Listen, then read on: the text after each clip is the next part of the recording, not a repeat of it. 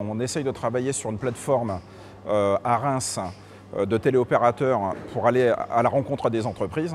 C'est une dynamique que, j'ai souhaité et que les compagnons ont souhaité que ça soit à Reims sur le plan national, parce qu'on a tout ce qu'il faut, les personnes et les gens dynamiques, les Rémois, les Champenois, pour euh, travailler auprès des entreprises. Ces appels ont pour objectif de solliciter les entreprises euh, pour le financement de nos apprentis, la formation de nos apprentis, dans le cadre de la taxe d'apprentissage. C'est important pour nous d'avoir des gens comme ça sur ces plateformes qui rentrent en contact avec les entreprises, qui incitent les entreprises à verser la taxe d'apprentissage aux compagnons du devoir, parce que nous, de ce côté-là, dans l'utilisation que nous en faisons, un euro collecté, c'est un euro qui va à la formation de l'apprenti. Et ça, c'est essentiel. Il y a eu une volonté en fait de regrouper euh, le front et le back office, euh, puisqu'il y a ici sur le site de Reims depuis euh, maintenant 15 ans, il y a le site de l'organisme collecteur de taxes d'apprentissage qui connaît bien la réglementation de la taxe d'apprentissage et mettre le, plateau téléphonique à côté du site qui maîtrise cette réglementation et qui est au service des entreprises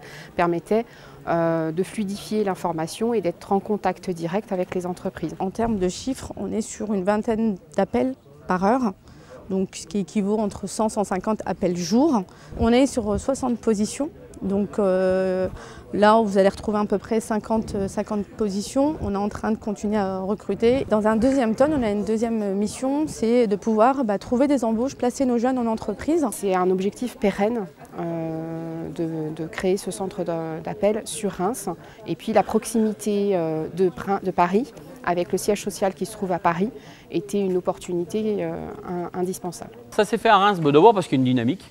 Vous savez, quand euh, vous faites des choses à un endroit, euh, effectivement en dehors de ce qui peut être la logique économique, mais finalement vous avez raison, que ce soit à Reims, à Bordeaux ou à Lille ou à Marseille, euh, quelque part il faut qu'à un moment donné on ait confiance dans les gens qui sont en place. Il faut qu'on sente qu'il y a une réelle dynamique, il faut qu'on sente que les gens vont, puissent être accompagnés correctement. Euh, il faut qu'on sente qu'on va aller chercher des compétences aussi, c'est-à-dire qu'on va avoir euh, des gens euh, plus facilement intéressés et qualifiés pour y venir. Et je crois qu'ici, en Champagne-Ardenne, on avait effectivement tous les ingrédients qui étaient rassemblés pour que ça puisse se faire ici. Invest in